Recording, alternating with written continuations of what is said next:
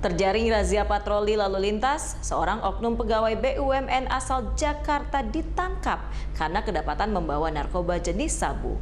Tersangka langsung digelandang petugas Dit Narkoba Polda Sumbar dalam keadaan mabuk untuk dilakukan pengembangan.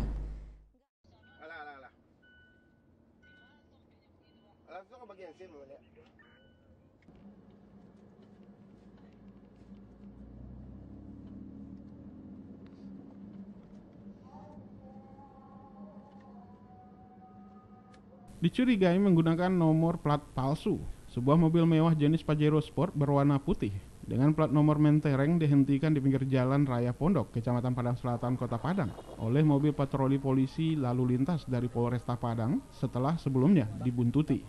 Saat dihentikan, petugas curiga dengan gelagat pengemudi yang dalam keadaan setengah mabuk. Petugas pun melakukan penggeledahan terhadap mobil tersangka dan menemukan satu paket besar narkoba jenis sabu yang disembunyikan di dalam tas di kursi belakang mobil tersebut.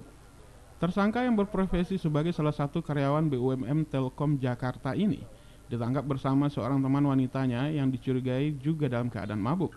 Bersama barang bukti, tersangka diserahkan ke pihak Dit Narkoba Polda Sumbar untuk dilakukan pengembangan.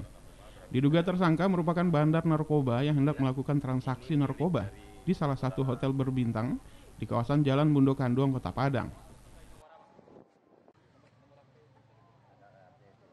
Jadi kita seperti biasa patroli rutinitas ditemukan di Jalan Cokro Minoto uh, Pajero Sport dengan plat nomor yang agak ngarang.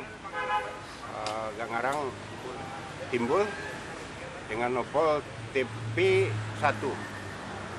Setelah kita cek nopolnya yang asli T41. Dimulai dari situ kita tanya SNK, ada kecurigaan uh, kepada pengendara yang mana sudah tidak tenang, gelisah. Maka kita bawa ke posko BM.